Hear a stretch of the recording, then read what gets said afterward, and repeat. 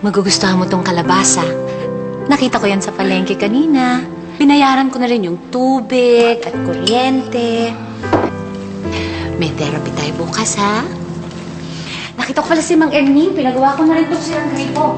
Ay, kulang na lang tayo ng pag-second sem ni Sarah. Makakaraos din tayo, Ado.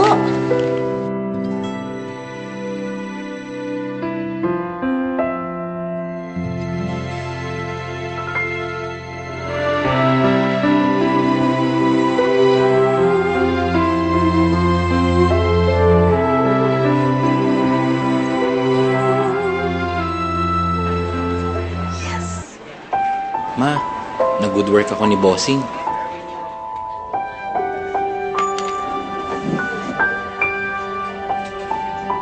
Break na kami, ma.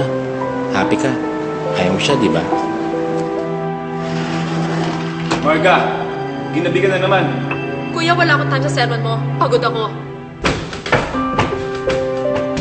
Ay, si Marga.